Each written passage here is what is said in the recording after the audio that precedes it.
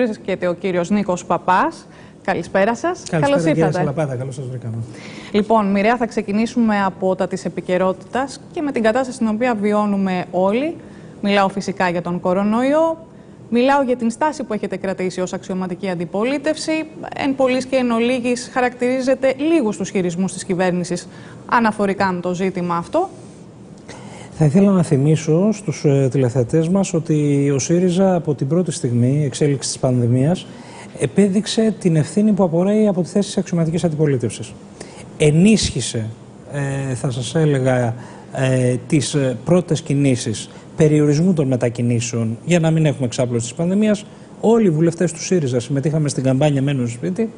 Η κοινωνία αγκάλιασε αυτή την καμπάνια, πειθάρχησε στην πρώτη φάση του lockdown, αλλά αυτό το κεφάλαιο, θα σας έλεγα, δεν αξιοποιήθηκε από την κυβέρνηση.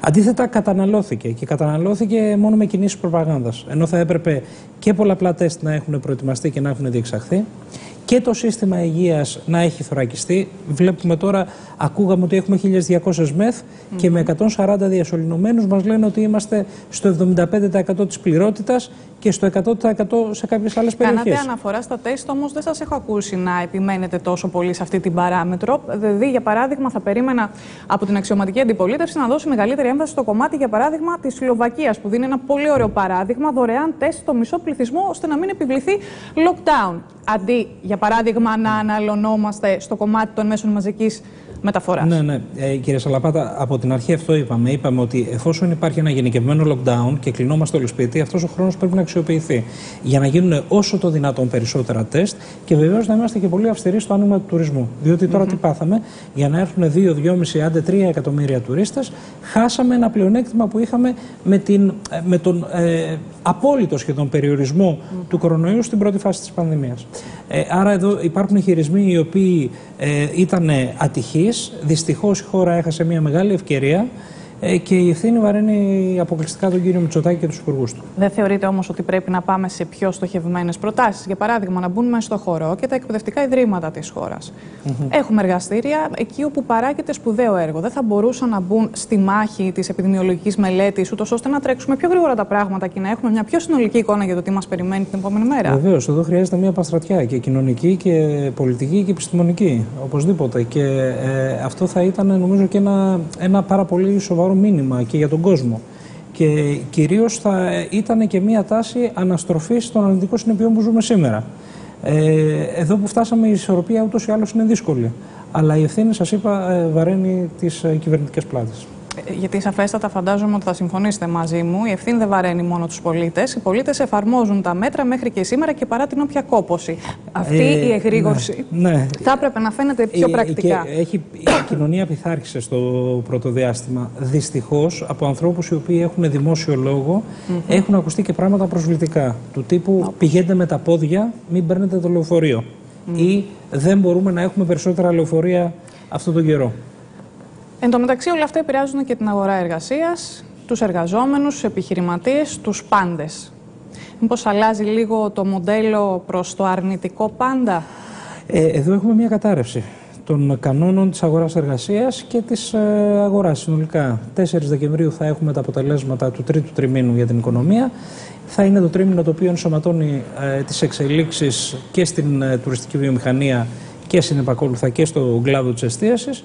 Δυστυχώς έγινε η επιλογή αντί να προστατευτεί η εργασία και οι θέσεις εργασίας, έγινε η απόλυτη επιλογή της διάλυσης. Δηλαδή, εκεί που οι εταιρείες μας στην Ελλάδα, οι επιχειρήσεις μας αισθάνονται την πίεση λόγω του περιορισμού του τζίρου τους, απελευθερώνονται οι απολύσεις, μειώνονται οι μισθοί και δείχνει η πολιτεία αντί να ενισχύσει τις επιχειρήσεις μας, το δρόμο στις επιχειρήσεις ε, να διασωθούν μέσω των απολύσεων και της μείωσης του κόστου εργασίας, του κόστους εργασίας. Αλλά αυτό είναι μια καταστροφική επιλογή για την οικονομία συνολικά. Γιατί ξέρετε, όταν δεν υπάρχουν εισοδήματα, ακόμα και στο μικρό επίπεδο, λέγανε κάποιοι όταν είχαμε αυξήσει τον κατώτατο μισθό από 586 στα 650 ως πρώτο βήμα, θα υπάρξουν αρνητικές συνέπειες. Θα υπάρξουν απολύσεις γιατί κάποιες επιχειρήσεις δεν θα αντέξουν. Δεν αποδείχθηκε αυτό.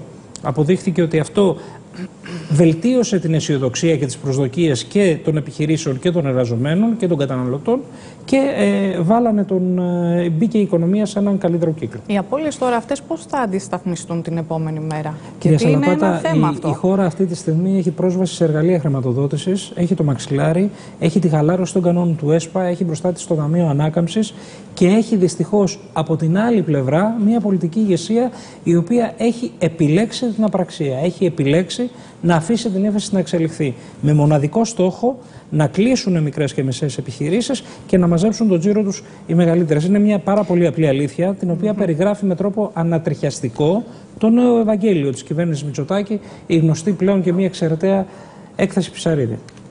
Λοιπόν, να σας πάω λίγο και στον παράγοντα Αμερικανικές εκλογές, διότι έχει σημασία και το σχολείο σας από αυτού. Είδαμε και σχετικό ρεπορτάζ. Τι πρέπει να προσδοκάει η Ευρώπη, τι μπορεί μάλλον να προσδοκάει η Ευρώπη και η Ελλάδα. Ε, Πολλές φορές κάνουμε ένα λάθος. Καταρχήν, ένα γενικό σχόλιο ε, είναι πρωτόγνωρο αυτό που συμβαίνει στις ΗΠΑ. Έτσι, έχουμε μια κατάσταση όπου η επιστολική ψήφος έχει ήδη αγγίξει σχεδόν τα 100 εκατομμύρια. Στι περασμένες εκλογές ψήφισαν περίπου 130 εκατομμύρια Αμερικανοί. Είναι προφανές ότι η Αμερικανική κοινωνία βγαίνει διχασμένη από την τελευταία τετραετία. Αλλά εμείς εδώ στην Ελλάδα, αλλά και στην Ευρώπη ευρύτερα, νομίζω ότι κάνουμε λάθος ε, όταν ε, ακουμπάμε τις προσδοκίες μας σε μια πολιτική αλλαγή που θα επισημείς στη μία ή στην άλλη υπερδύναμη. Οι υπερδυνάμεις, ξέρετε, όταν ε, έχουν παρουσία μικρή ή μεγάλη σε μια περιοχή, το κάνουν για να προστατεύσουν τα συμφέροντά τους.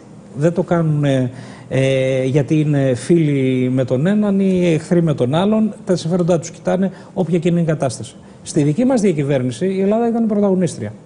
Όλες οι μεγάλες δυνάμεις ξέρανε ότι για να έχουν μια παρουσία στην περιοχή θα πρέπει να λάβουν πολύ σοβαρά υπόψη τους ή καταρχήν και κυρίως ε, τις προσδοκίες της Ελλάδας για τα εθνικά της συμφέροντα και τη σταθερότητα στην περιοχή. Να σας πάω λίγο στο νέο πτωχευτικό κώδικα. Ναι. Πόσο κοντά ή πόσο μακριά είμαστε από το να βιώσουμε καταστάσεις Μαδρίτης; Δυστυχώς είμαστε πολύ κοντά.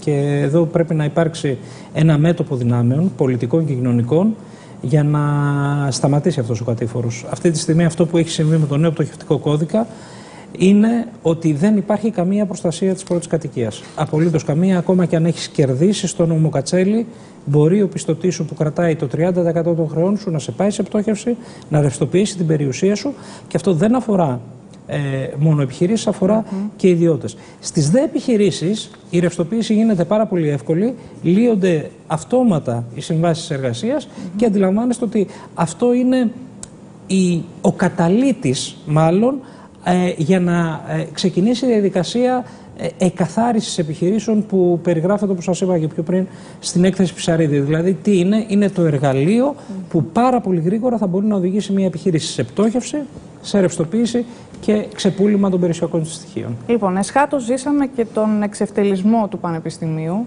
και της υπόστασης του θεσμού του Πρίτανη, γιατί περί αυτού πρόκειται και σε όλο το μεγαλείο. Πήρατε θέση, τοποθετηθήκατε. Ακούστηκε, ε, σχολιάστηκε μάλλον εντόνως και επικοινωτρόπως η επικήρυξη των δραστών. Οπότε θα ήθελα ένα δικό σας σχόλιο, με την παράμετρο βέβαια ότι ιδίως αυτή τη στιγμή έχουμε και την υπόθεση ενός φυγόπνου. Έτσι είναι. Και νομίζω ότι ο κύριος Χρυσοχοίδης πρέπει να καταβάλει τεράστια προσπάθεια για να μην γελιοποιείται πλέον.